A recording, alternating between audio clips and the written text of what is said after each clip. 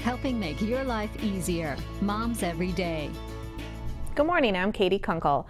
Did you know that both the prescription and non-prescription medications you are taking could potentially be affecting your dental health? Dr. John Tessendorf of the Dental Health Center in Eau Claire is joining us, us this morning to explain how these medications can cause a dry mouth, which can wreak havoc on your teeth and gums. Good morning, Dr. Tessendorf. Good morning, Katie. How are you? Good, thank you. So how does dry mouth affect a person's dental health?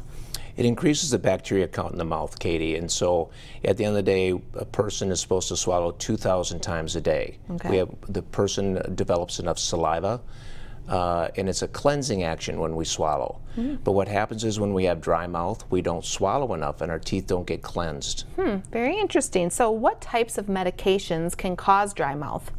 a number of medications, both prescription and non-prescription medications.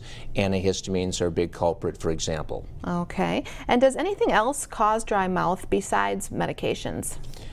Uh, there's different syndromes, Sjogren's syndromes, Parkinson's disease, uh, acne, acne medications, okay. for example. All right, so what can be done to combat the negative effects of dry mouth? Uh, different things, Katie, like uh, you can take Biotene.